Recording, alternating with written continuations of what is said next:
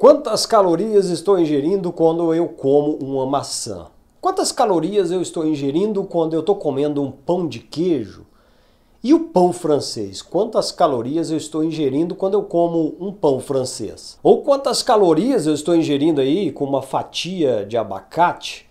Pois é, hoje nesse vídeo a gente vai falar sobre calorias, sobre hormônios e dizer para você que na verdade o importante em uma alimentação não é focar em calorias, mas é focar no valor nutricional do alimento. Porque as calorias, dependendo dos alimentos, elas não são iguais. Ou seja, eh, quando você pensa em carnes, as calorias presentes na carne, a maioria das calorias é por causa da proteína da carne.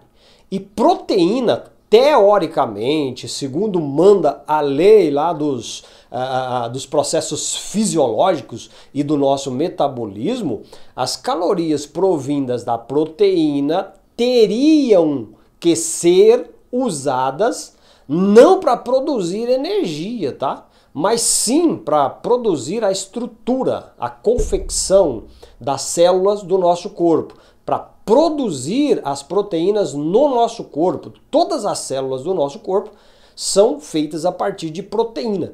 E proteína da carne seria para isso. Mas o corpo, muitas das vezes, ele metaboliza a proteína devido, digamos, aí a pobreza da proteína que você está ingerindo. Aí ela é usada para produzir energia. Mas teoricamente, as proteínas teriam que ser estruturas para produzir a estrutura do nosso corpo. Seja osso, seja pele, seja cabelo, tudo isso, músculo, né? Tudo isso é feito a partir de proteína. Então, calorias não são iguais. Você tem, por exemplo, a caloria de um refrigerante que na maior parte das vezes o que tem ali é açúcar, né? A caloria do açúcar. A caloria do açúcar é interessante, ela produz energia, mas no refrigerante você não tem nenhum nutriente essencial para o seu corpo, é muito pobre de nutriente. A gente chama isso de calorias vazias. Agora, quando você pega um abacate, contém caloria no abacate, mas também contém um teor nutricional muito bom no abacate principalmente no que diz respeito a gorduras boas. Então é uma coisa diferente. Você tomar um refrigerante, você comer um abacate, você vai ingerir calorias, mas a utilização de todos os nutrientes que tem ambos os que eu falei aqui são totalmente diferentes. E quando você ingere muitas calorias vazias que não tem nutriente nenhum no alimento, o seu corpo entende que você não comeu, porque ele não usou nutriente nenhum, não tinha nutriente nenhum, não tinha cálcio, não tinha fósforo, não tinha zinco, não tinha potássio, não tinha nenhuma vitamina ali, então o seu corpo entende, oxe, eu preciso de vitamina, eu preciso de minerais, e não teve aqui, então o cara não comeu, eu preciso comer mais. É mais ou menos assim para você entender. E não somente isso, mas as calorias fazem produzir energia no seu corpo. Só que existe um detalhe. Existe aí também os hormônios que estão ligados às questões das calorias. Quando você come, por exemplo, muito carboidrato, você aciona a insulina e fisiologicamente, enquanto há picos de insulina no teu sangue, é impossível você perder gordura. É impossível perder gordura se você tem picos de insulina, se você está com a insulina elevada.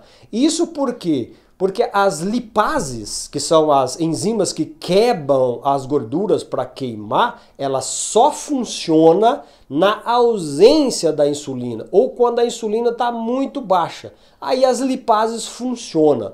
Quando a, a insulina está alta, as lipases estão inativas, elas não funcionam. Então não tem como você perder gordura correndo em cima de uma esteira, tomando lá o seu a, a sua maltodextrina ou sua maltodextrose. É impossível porque quando você toma esse tipo de suplemento, você está elevando a insulina, elevou a insulina, desliga as lipases que quebra gordura, você não perde gordura nesses momentos. É impossível. Então muita gente faz tudo errado justamente por causa do hormônio. A insulina é um hormônio, tá? E a gente tem mais hormônios, leptina, mais alguns hormônios que estão também é, ligados a isso e influencia a perda de peso. Muita gente não perde peso porque não sabe desses critérios, não sabe aqui é, de todos esses detalhes, ela está fazendo tudo errado, né? Então é isso. As calorias não são iguais. Você tem alimentos que têm densidade de nutrientes que ajudam muito mais, que trabalham muito mais, é, e a gente tem as chamadas calorias vazias. Esses conhecimentos são interessantes porque muitas pessoas perdem tempo na academia, em cima de uma esteira, fazendo exercício pesado e usando é, carboidratos em excesso. Aí complica a situação, porque, como eu disse, insulina com picos altos no seu sangue, você não vai perder gordura. É assim que funciona. E conhecimentos como esse você adquire fazendo um curso de naturopatia da Faculdade Indústria da Saúde Brasil.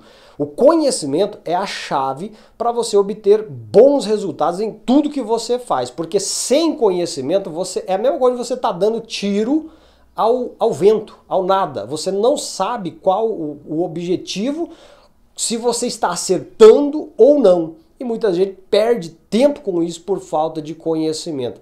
O conhecimento que você vai adquirir nesse curso, ele não é só um conhecimento para você aplicar na relação calorias, hormônios que eu disse para você. Não, você vai fazer disso uma profissão. Além de consertar os seus hábitos errados, você vai aprender, vai colocar no seu currículo acadêmico mais uma profissão, que é a profissão de naturopata, que está lá no cadastro brasileiro das ocupações. Tudo bonitinho, você pode trabalhar com isso.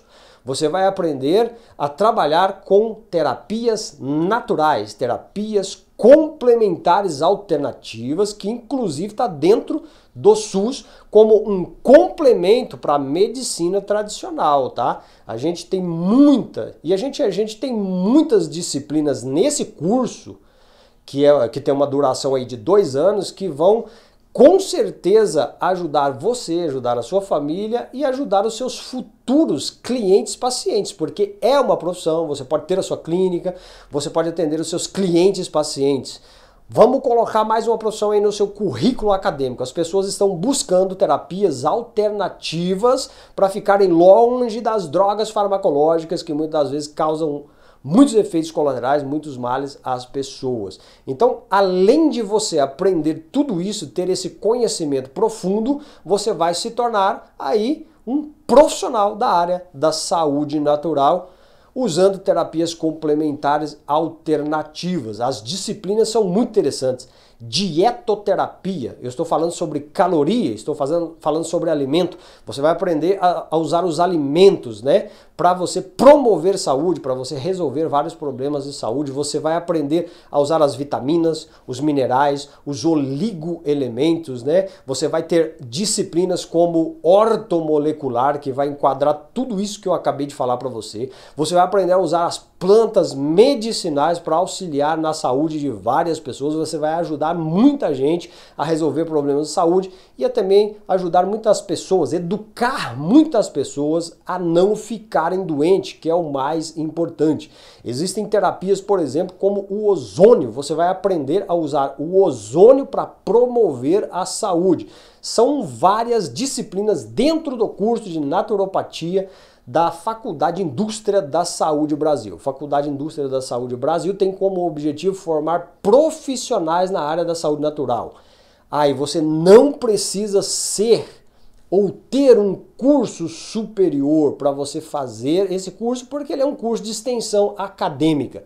No final de dois anos, você vai receber o seu certificado emitido por uma faculdade de nível superior e pode atuar na área da saúde, sendo aí um terapeuta um terapeuta naturopata, um terapeuta holístico que vai ajudar as pessoas, educar as pessoas a fazerem o melhor para a sua saúde. Você pode trabalhar também em outras instituições, você pode trabalhar em spas, você pode trabalhar como um profissional liberal, você pode trabalhar também aí sendo um palestrante, um educador, você pode dar consultorias, trabalhar em clínicas, clínicas particulares, são várias as opções porque as pessoas estão buscando cada vez mais terapias complementares para ajudar nas terapias convencionais que a gente tem na medicina convencional. Então, se você ficou interessado nesse curso, o curso na área da saúde natural, você vai ligar o telefone que está aqui embaixo do seu vídeo, que é o WhatsApp. Você vai falar com o PhD, o doutor naturopata João Dapper, da Indústria da Saúde Brasil,